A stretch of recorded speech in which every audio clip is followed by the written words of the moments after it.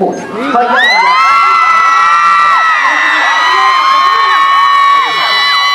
ผมส้มดี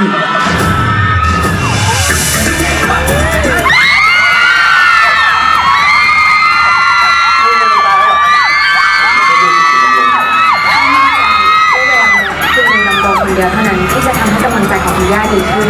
ทั้งเรื่องช่วยจะแนะนำให้ทุกท่านรู้จักครับ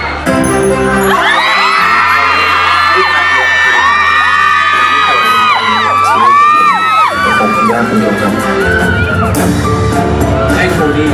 มันไม่ได้เป็นลูกลุงลงครับ ผมไปเห็นบัตรประชาชนของมัน ผมเอามาโชว์คุณโทนี่ไม่ใช่หลานที่แท้จริงของคุณหญิงสมจิตอะไร